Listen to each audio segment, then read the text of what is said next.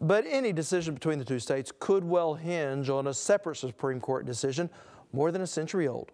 The state and a pair of Oklahoma tribes are still squabbling whether the Chickasaw and Choctaw nations have legal rights to the water in their historic territories in southeastern Oklahoma. Neil McCaleb is with the Chickasaw Nation. They're taking our water without asking us permission.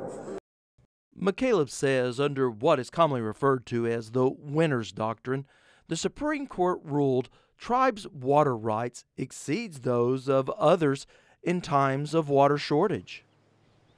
Well, the issue is uh, the decision to allocate or permit the water that's been contracted for by the Oklahoma Water Resources Board has been without consultation with the Chickasaw and Choctaw nations who feel that they have a superior and prior claim to the water.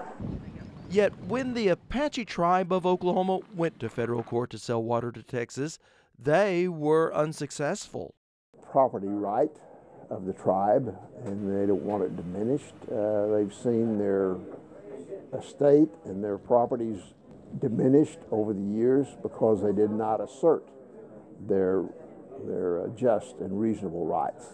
So they want to do that. Uh, I don't want to say money is of no consequence, but that's not the driving force. That's not the driving interest. And as a matter of fact, the tribes are doing very well financially without selling any water. Now, some caution that the more broadly tribes seek to assert their rights, the greater the risk that the federal courts will trim earlier rulings establishing Native American rights.